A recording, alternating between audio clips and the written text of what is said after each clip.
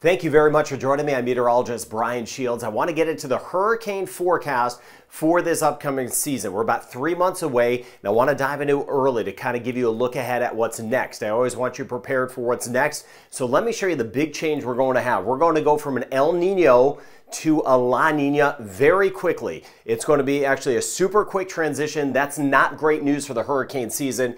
And you see it here. I don't want to dive into this too much, but basically we've been in El Nino, but as we work our way into the next couple months, here we are in April, for example, you can see this going down. That's a sign we're about to get into La Nina, and we're going to have that right through the heart of the hurricane season. Here's what's going on in looking ahead. This is July into uh, August. This is a look at uh, some of the sea surface temperatures, or at least uh, the changes in those. And you see right in here, look at that blue shading. We're going to be getting much, much cooler in parts, relatively speaking, in parts of the Eastern Pacific. That is a sign of La Nina. Now, La Nina typically means more hurricanes, and I do I do believe that's what we're going to get. But let me dive into that even more so. Now, let me swing to the Atlantic Basin. So here we are in the Gulf of Mexico, Caribbean. We get into the Atlantic. This is also looking ahead.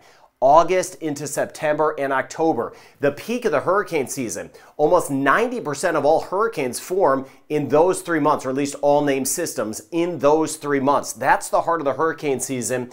In this outlook, this orange shading for almost the entire Atlantic basin is saying, hey, these water temperatures are going to be running above average and well above average. So we've got a couple things. Going into a La Nina, and very much above average temperatures. Now, a typical hurricane season, as we go forward, it starts June 1st. Usually it's pretty quiet. We may get a storm or two, even in April, maybe one in May and uh, June, but then it starts to really ramp up August, September, and October being the peak of the season. The peak itself right around September 10th or September 11th, and it typically stays active through October and then drops off. Although the last few Novembers, we've seen a little more action around. Unfortunately, right when things peak for this hurricane season, that's when we get into a La Nina. Now, an El Nino season, usually that's better news for the hurricane season. With an El Nino pattern, a global pattern, with an El Nino pattern, that means a lot more in the way of wind shear and that means less hurricanes. Now, last year we had an El Nino uh, period, an El Nino cycle, so a lot of the forecasts are saying, hey, there's not going to be as many hurricanes. But this is just one ingredient. You could look back at my forecast I did for last season. I was saying it's going to be above average no matter what, because even though we had an El Nino, the water temperatures were so very warm, so it balanced it out, and it did turn out to be that above average season. But typically, El Nino is better. That's better for us. I don't root for hurricanes. I don't, I don't want them. I do want some rain in spots. We need to get some rain in the beneficial aspects, but we don't need any destruction around. Now, uh, with an El Nino uh, pattern, that leads to more wind shear. When you have more wind shear, picture this. You have uh, thunderstorms building up in the Atlantic. If you have winds, if the storm's coming this way or the hurricane, winds are coming in the opposite direction. That's the wind shear, and it can knock apart the thunderstorms as they build up so they can't develop as much. But when we're dealing with a La Nina uh, period, which I'll show you, the thunderstorms can build up. There's not as much wind shear. We have more of those easterly uh, breezes, the easterly flow, which is where a lot of these storms are coming from. And that's why I do believe we're going to have more hurricanes because we are going to have less wind shear. But as I mentioned, it's not just are we in El Nino or La Nina. There's a lot of other things. But I do believe uh, with less wind shear and on top of it, having the very warm water temperatures that I mentioned as we get into the heart of the hurricane season, that means we're going to have a much busier season than average. So there's multiple things. La Nina plus the water temperatures. Now, in an average season, typical season, at least over the last uh, 20 to 30 years or so, we get about 14 named storms, seven of those becoming hurricanes, and three of those becoming major hurricanes. That's category three or greater. Those are the ones that, of course, cause a lot of destruction. Of course, even a tropical storm, though, with the flooding can cause destruction. Every single storm is different, and that's why on this channel, I track it storm by storm for you. Now, you see these averages. I believe we're going to be closer to 20, maybe 25 named storms this season because the uh, conditions are conducive for more in the way of activity in the Atlantic basin. So this season, we're going to be above average. We have La Nina, less wind shear. That usually means more storms. Sea surface temperatures are going to be warm to flat out hot. We've seen that over the last few seasons. That's why actually, even though we had El Nino last season, there were so many named storms because the water is so warm. So you have these two giant ingredients, and that does mean a very active hurricane season. I expect over 20 named storms for this upcoming hurricane season. Now, with that said, you're going to see a lot of forecasts come out and they're going to talk about, hey, the storms may hit here or they may, may hit here.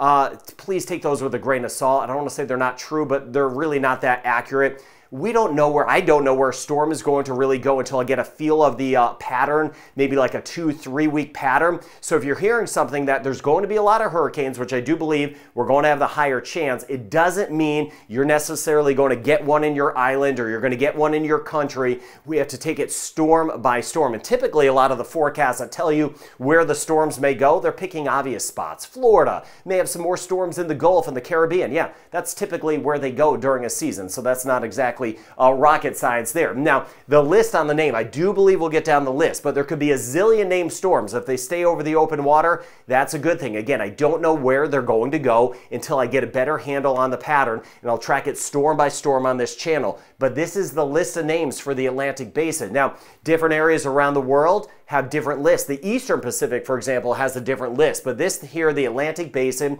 so the Atlantic Ocean, Caribbean, and Gulf of Mexico, Alberto, Beryl, then Chris, then Debbie, Ernesto, Francine after that and then Gordon, and then it continues to go on. Helene and Isaac, uh, Joyce, uh, Kirk, Leslie, Milton, uh, Nadine, and we go on and on. Now, hopefully, again, we don't get too far down the list, but I do believe it is going to be much more active. Again, we're going to get quickly into a La Nina, bad timing, heart of the hurricane season, in very warm temps. Now, I want to get back to the short term forecast, keep you covered on everything. A couple big things going on. Big system moving into parts of the Pacific Northwest, Western U.S., and parts of Canada. That's going to be, bring some winds over 100 miles miles per hour in the higher terrain and a lot of snow. We're thinking of our friends there. And then you can see here another front. Now, most of these fronts are going to be to the north of the Caribbean. They'll clip us by, but we're still dealing with some of the Saharan dust and some of the low air quality out there. So in the short term, and I'll widen this out in just a second, short term spotty showers. They'll favor our northern sections, Puerto Rico, Antigua, Barbuda. We could see a hit or miss shower today. We have these old fronts that are moving away. So a spotty shower, but not too much. And with that that said,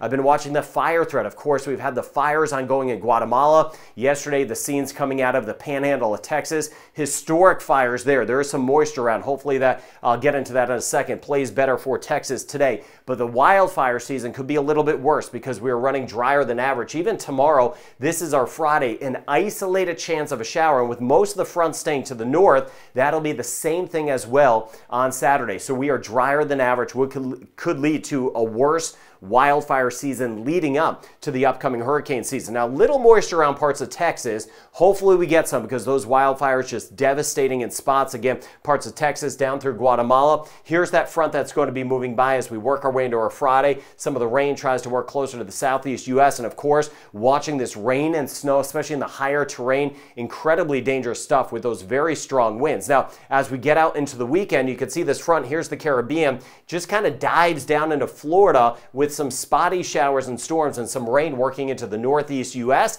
and then watching the snow in the higher terrain here with that system that is pushing in. That'll move all the way back toward uh, parts of Colorado and then seeing some of the rain here east coast of the United States and up toward parts of Canada. So here's Canada in the northeast U.S. Get over toward Nova Scotia, uh, back toward uh, Connecticut. Now one system leaving Newfoundland as we go through the day today. Could see a little snow wrapping in on the back side of it and then going into tomorrow watching this next system moving in and then into our Saturday, mainly a rain event for parts of New England. Not all of us will see it, but mainly a rain event. And then as we work our way from Saturday into Sunday, this scraping across the Atlantic region of Canada uh, with that chance of some scattered rain showers as we work our way into the upcoming weekend. Now, Jamaica tomorrow, the rain chance will be up to about 40%. And as we get toward the Cayman Islands, 20 to 30%. So again, it's the isolated stuff. Trinidad and Tobago, a slightly higher chance, but still too low. Rain chance 30%. 20 to 30% chance in Barbados, and again back through St. Lucia. So a passing shower possible today. Rain chance holding at 20% in Grenada. Watching out for the lower air quality. St. Vincent and the Grenadines, still some of that dust around. Rain chance 20 to 30% in Martinique. We'll see that as well as we work our way from Dominica uh, right up through Guadeloupe. Rain chance tomorrow and Saturday in Guadeloupe at 30%. 30% chance for today in Antigua and Barbuda, and a 30% chance for today St. Kitts, Nevis, and Montserrat. Rain chance stays isolated in Anguilla and St. Bart's, and still just very isolated. St. Martin, Saba, and Statia. Rain chance about 30 to 40% today in Puerto Rico. We'll have a few showers around. U.S. and British Virgin Islands, a few showers around. Not as many as we had a few days ago. Dominican Republic, a 40% chance today. And as we work our way into Haiti, a 30% chance today, but mainly dry for tomorrow. Bahamas will be watching a front getting closer for tomorrow. Could see a few spotty showers. Turks and Caicos, rain chance limited 10%. As we get back toward Cuba, scrape by a few showers, 20%. And about a 20 to 30% chance in Belize and back through the Yucatan of Mexico. Bumps up a little bit on Saturday. We work our way through Aruba, Curacao, and Bonaire. Rain chance chance stays low, but a passing shower, at that easterly breeze, uh, that will be with us. Watching out for the air quality. Bermuda, a few showers possible today. Otherwise, mainly dry in Costa Rica and Panama, where we need to get some rain. Rain chance stays limited. Watching the dust around over toward Guyana and Suriname. Rain chance very, very spotty and limited. About a 10 to 30% chance the next few days. In northern Venezuela, about a 20% chance. So again, looking ahead to the upcoming hurricane season, La Nina coming back quickly. That with the very warm water temperatures, that will mean a more active season. But this isn't to alarm anyone, just want to get you prepared. And again, it doesn't mean something's going to come necessarily to you. It just means that we just need to watch out for these things together. It is going to be more active. Bigger fronts moving across the U.S. I was just highlighting that and watching that wildfire threat across the Caribbean, parts of Central America, and the panhandle of Florida. And of course, monitoring any earthquakes out there. Thank you very much for being part of this channel, sharing this information, and subscribing, being part of this weather community. Have a great rest of your day.